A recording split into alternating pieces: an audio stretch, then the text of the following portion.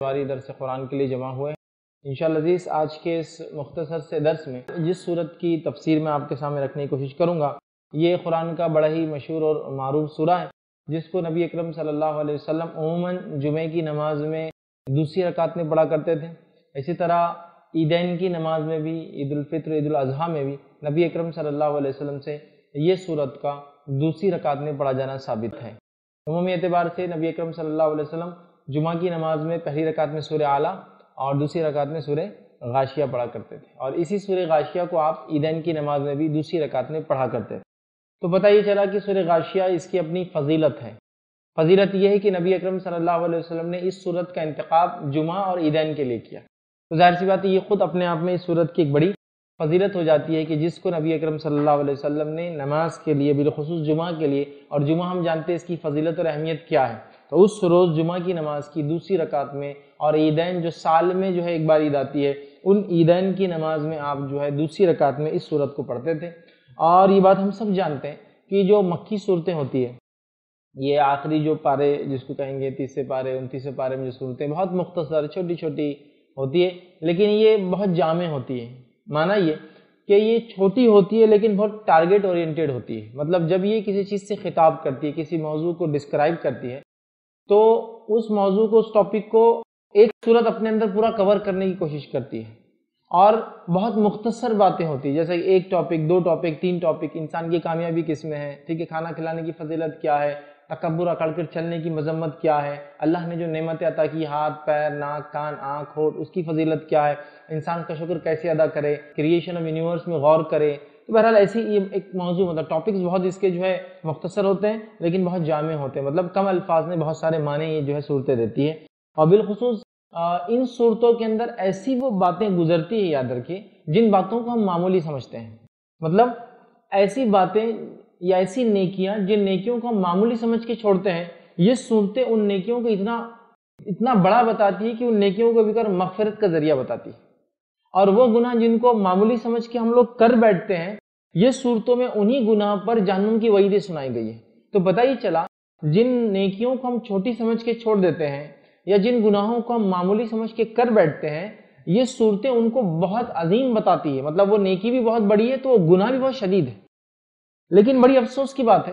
یہ صورتوں کے اندر جن اعمال کو ہم نے معمولی سمجھا، جن گناہوں کو ہم نے معمولی سمجھا، یہ صورتیں اس کو ڈسکرائب کرتی ہے پتہ ہی چلا کہ یہ صورتیں ان چیزوں کو چھوٹی کو بڑی کر کے اور بڑی کو چھوٹا کر کے نہیں بتاتی ہیں۔ یہ صورتیں ان کی ریالٹی بتاتی ہے جس کو ہم بھول چکے ہیں۔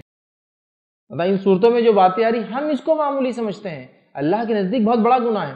ہم اس کو معمولی نیکی سمجھتے ہیں۔ اللہ کے نزدیک یہ نیکی بہت زیادہ عظیم اور بڑی ہے، یاد رکھی تو لہٰذا یہ صورتیں ہمیں اس اعمال کی طرف متوجہ کرتی ہے جن اعمال کو سماج و سوسائٹی نے معمولی سمجھ کے یا تو ترک کر دیا، چھوڑ دیا، یا معمولی سمجھ کے ان گناہوں کو وہ کرنے لگے۔ اور یہ صورتیں ان پر بڑا امفسائز کرتی ہے کہ لوگوں کو متوجہ کرتی ہے اور ان صورتوں کی خصوصیت ایک یہ بھی ہے مکھی صورتوں کی ہے، وہ یہ ہے کہ اللہ رب العزت نے اپنے نبی کے جو مشن تھا، نبی کو جو مشن دے کر بھیجا تھا دعوت کا اس مشن کے ابتدائی دور میں ان صورتوں کا اللہ نے انتخاب کیا کہ ان کے ذریعے انسانیت کو دعوت دی جائے۔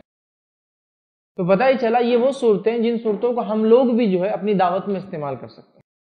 اسلام کے پیغام پہنچانے میں استعمال کر سکتے ہیں۔ کیونکہ اللہ تعالیٰ کی حکمت تھی کہ اپنے آخری نبی کو یہ صورتیں دے کر اس نے بھیجا ابتدائی دور میں اور انہی صورتوں کے ذریعے نبی اکرم صلی اللہ علیہ وسلم نے انسانیت کو متوجہ کیا۔ ہیومینٹی کو جو ہے کیا کیا؟ ان کو جو ہے اپنے طرف متوجہ کیا، ان کو اپنے طرف اٹریکٹ کیا کہ دیکھو میں یہ لے کر آیا ہوں۔ اور یہی صورتیں بہت چھوٹی چھوٹی ہوتی بہرحال۔ ہم نے اس میں سے الحمدللہ کئی صورتیں جو عموماً پڑھی جاتی دیکھی۔ آج جو صورت ہم دیکھیں گے انشاءاللہ، وہ سورہ غاشیہ ہے، جو کہ ایٹی ایٹ نمبر کی صورت ہے یہ اٹھاسی نمبر کی صورت ہے۔ اور اس کے اندر جو ہے، چھبیس جو ہے ٹوئنٹی سکس جو اس میں ورسز ہے، اس میں آیت ہے اب بہت ساری بار ایک کنفیوژن ہوتا ہے لوگوں کو کہ سورہ غاشیہ ہے مکی دور میں نازل ہوا، ابتدائی دور میں نازل ہوا، لیکن اس کا نمبرنگ اعتبار سے ایٹی ایٹ پہ چلا جاتا ہے۔ سورہ علق جس کی ابتدائی پانچ آیتیں جو پہلی آیتیں تھی جو نازل ہوئی نبی اکرم صلی اللہ علیہ وسلم پر، لیکن نمبرنگ اعتبار سے نائنٹی سکس نمبر پہ چلی جاتی ہے۔ ٹھیک ہے؟